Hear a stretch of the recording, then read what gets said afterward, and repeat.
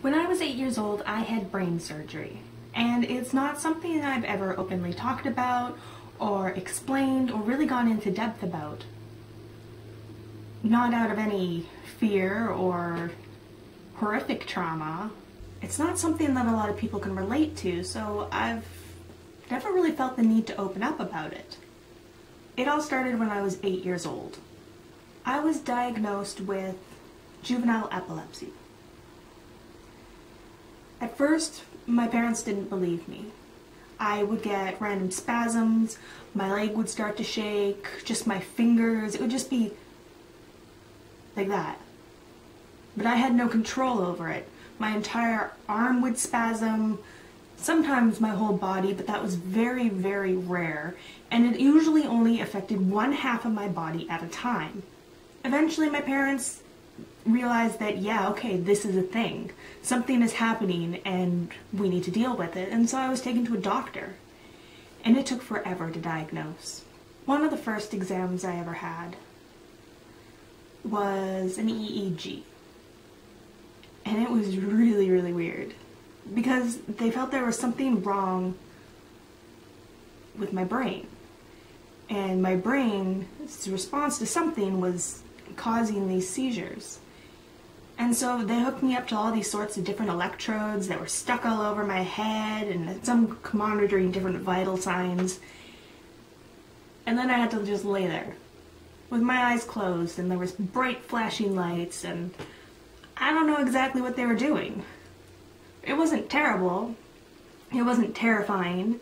It was just annoying. I mean, imagine how hard it is for an eight-year-old to sit still that long. But that was just the beginning. I had all sorts of examinations with doctors poking and prodding me. I had all sorts of blood tests taken. And eventually I ended up having CT scans and an MRI. So they show me this room, and it was kind of cool actually when you think about it. It was this giant room with this giant machine, and it had a castle built around it. Because here we have a children's hospital, which is specifically for children and women giving birth.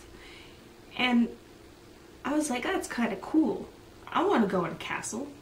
But then it actually happened. Just as I was getting settled down on the hospital bed that is shoved into this machine, they say, okay, so you need to stay really, really still. And don't talk, you know, don't do anything Alright, there's going to be some really loud noises, but you got to stay really, really still because we want to get images of your brain. And I'm like, okay, sure, sure, loud noises. I can deal with that, no problem. They put me in, and everything's going okay, and there's clunks and bangs, and it's so small. And I'm small, but it's small. And eventually, I'm just, I realize how alone I am in there, and my parents aren't there and I can't see the doctors and I they're not really talking to me so I just start crying. And I start bawling. And, and they had to stop because I couldn't stay calm and because I was crying I couldn't stay still. And so they're just like okay well this is over. This is not happening. So they had to pull me out and they had to calm me down and then they're like, well, we have to do this. We have to get these scans. And so they decided they were going to put me under for it. If I'm un unconscious, I'm not going to move. I'm not going to cry. I'm not going to ruin anything. The brain activity might be a little lower, but they can still look at my brain, right? Up until this point, I've been poked and prodded by so many people and had so many tests done that nothing really bothered me at this point. So I remember being in this little room with my dad and the doctors and the nurse and they put down a plastic thing on my back of my hand where they're going to put the IV in and it has a cream or a gel on it that numbs the area. And the, so they take that off eventually and then they get ready to put it in and I'm just sitting there and I'm staring at it and I watch and it's a huge needle. It's not like the IVs that they have now which are really really tiny and you barely feel anything. I mean I still freak out but you barely feel anything. And I just watch it go in with like utter fascination. And then they hook everything up and it's ready to go and they're like, okay, we're gonna go and do this. And then I don't really remember anything after that. All I remember is waking up and my dad was there and one of the nurses was there and they gave me a popsicle.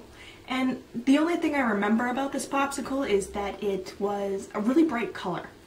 I don't actually remember what color. It could have been blue, it could have been pink, it could have been purple, but I just remember it was bright. And I was sitting there happily and they're doing all their checks and everything to make sure I'm okay. And they're like, we got it, everything's good, you can go home. We just gotta, you know, sit here and rest for a bit and then your dad can take you home.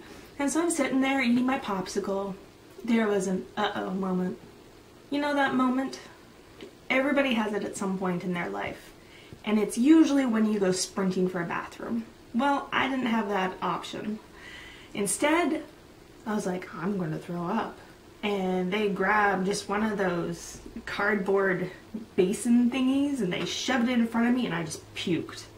And the only thing that came up because I hadn't eaten beforehand was popsicle. and I just remember the color of the popsicle coming up and yet I still can't remember the color of the popsicle. And they're like, uh-oh, somebody's having a bad reaction to the anesthetic and they're like, well, you can still take her home, just keep an eye on her and all that sort of thing. And so we're walking out of the hospital. It's just me and my dad, and the halls are empty at this point because I think it was later in the day because there really was nobody around, which is really strange for a hospital. There's usually one or two people wandering around at any time. And down the hallway, there was a railing and there was just like washcloths and towels hanging on it and I stop in the middle of the hall and it's like, oh, and my dad's like, oh crap, and he grabs one of these towels. Poor hospital staff. And I just like puke my guts out into it again.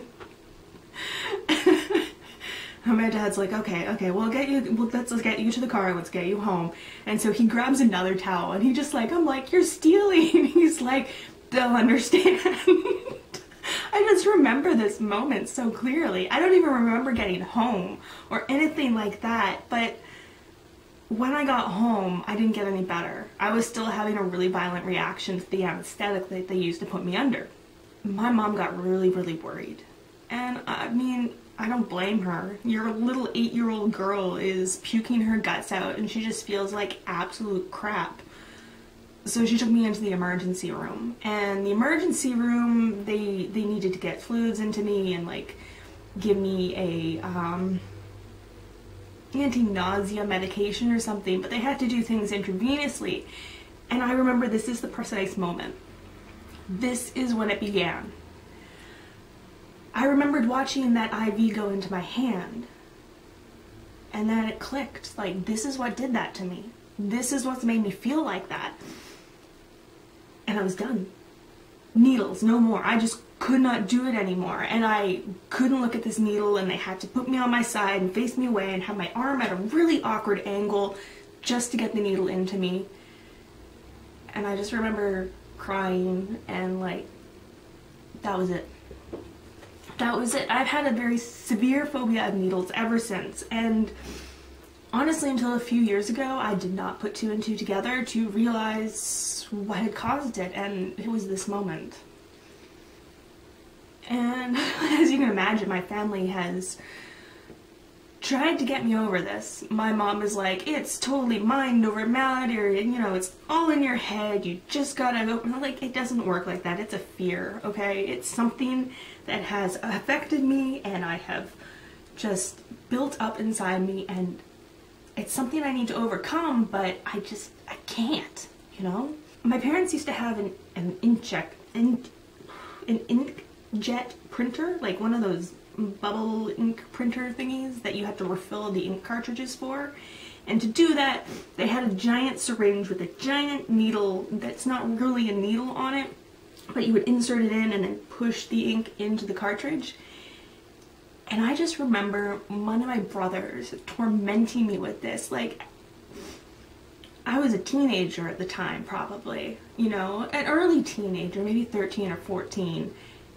But he would just torment me. He would chase me around the house with it, like full on display, just chase me. And I would scream and I would just be absolutely terrified.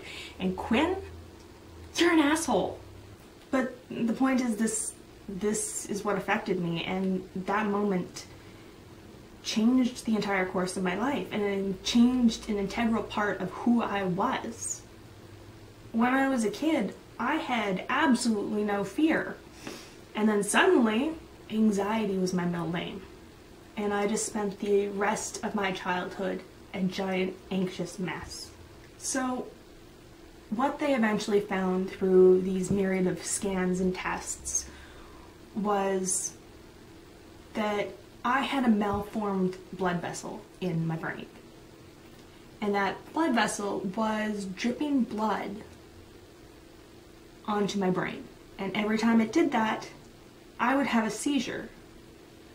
And those seizures, depending where it hit, affected different parts of my body. And if it was on the right side of the brain, it affected the left. And if it was on the left side of the brain, it affected the right. And when I was eight, I knew a lot more about the brain than I remember now, which is absolutely crazy, but I was super curious, so I always asked questions. They found what was causing this. They could they could fix it. And they had gotten me on an anti-seizure medication and at 8 years old I couldn't swallow pills at first, but after a few weeks I was swallowing pills dry. I was just I was pro. I could get them down no problem that only helped so much. I still had the occasional seizure and I still had problems, and so they had to go in. They had to go into my head and they had to fix the problem, or this was going to affect me my entire life and it would only get worse. My parents were trying to convince me, I think, that I was just going in for another test, like another MRI or something, they were going to put me under. And so they got me up early in the morning, and my youngest brother had just been born he was just a baby and he's still nursing and so he came with us both my parents were there which is what tipped me off in the first place and i'm sitting in the hospital hallway with my mom and my dad and i'm just sitting there and i'm perfectly okay and i'm like okay this is gonna happen and they take me in and they get me all ready they get me into the gown and all of this stuff and they do the same thing with the iv and this time i was not okay with it finally there comes this moment that the doctor comes in and he's like, okay, we're gonna do this, you know? And I, I already knew at that point, I was like, this is it, they're taking me in for surgery. The doctor posed a question to me. He's like, okay, do you wanna walk? Or do you wanna have a super fun ride and we'll wheel the bed down? And I was like, fun ride. I want them to go on the bed. By the time they had rolled me down the hallway to the operating room, I had this moment, this, this thought in my head that just went, I should have walked. It would have taken longer, and then I could have stalled. I just, I remember that having that thought. And so we're sitting outside of the operating room, and they give me something to drink, and I was like, okay, and I drink. And I had no idea what I was drinking. And that's honestly the last moment I remember until I woke up. Apparently, after the fact, they had learned from their first mistake of putting me under, and it was some sort of anti nausea medication that is now standard practice with uh, cancer patients when they're undergoing chemo. And so they had given that to me. So when I woke up, I was actually fine. I didn't have the same problems that I had the first time. But I woke up in the hospital room and my head was bandaged and I learned everything that had happened. When you have brain surgery, or when I had brain surgery, because I honestly don't know the current standards and practices, but I have three holes in my head. Three excess holes in my head one is right here, and then the others are here and here, and shaved part of my skull, drilled into my skull, marked out the place, and cut open it, and popped it open, just to get at my brain. Which is somewhat disturbing and alarming to think of, that my brain was open and exposed in a room to people. And I woke up and I was fine. you'd expect to be in pain or overly anxious or something. I was perfectly fine. I was tired, but I was fine. I was comfortable. And they predicted that I would be in the week in the hospital for a week and a half to recover. I wasn't. I was only in the hospital for 4 days.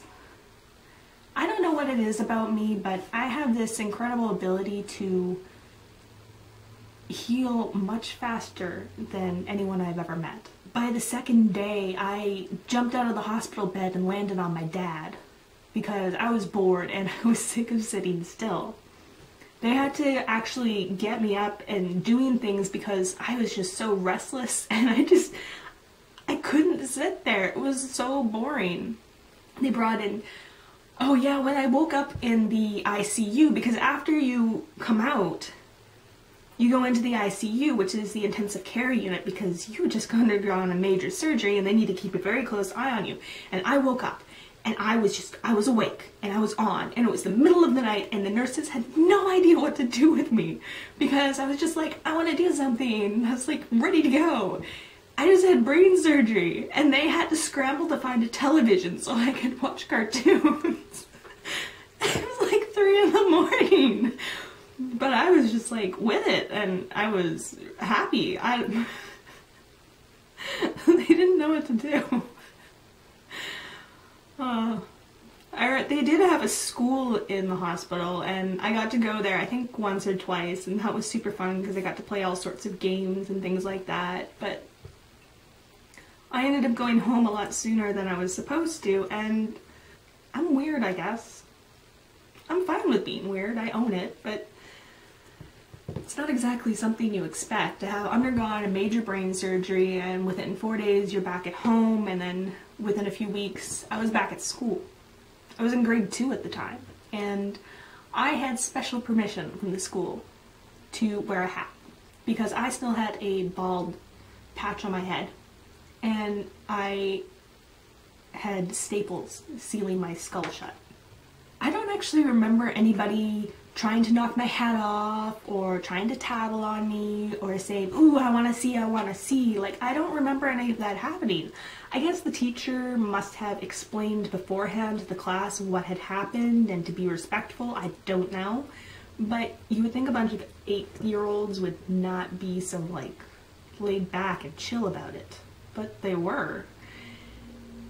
And eventually, like, things just went back to normal. My hair started growing back, and I had the staples out, which they're like, you're just gonna feel a little bit of pressure. And you know, when they say that, it means it's gonna hurt like hell. And it did. It did. My mom had to, like, pin me down just so they could pry the staples out of my head. And look at me now. I have not had a single seizure since I've had brain surgery. And I'm so incredibly lucky for that. People out there have to live with their illnesses their entire lives, and that just sucks. When I was eight, I had brain surgery, and I'm a different person for it. Um, you, you can't even look at the path and understand completely how I changed so much, but it profoundly affected me and how I look at the world and how I view myself and how I view others. And I am more than willing to put myself out there for other people who need me, who need my support. And I may not understand exactly what you're going through. Nobody ever will because every moment of your life is so profoundly different than anybody else's. Don't be afraid to take the help when it's offered to you if I hadn't had that surgery when I was eight years old, I would not be who I am now.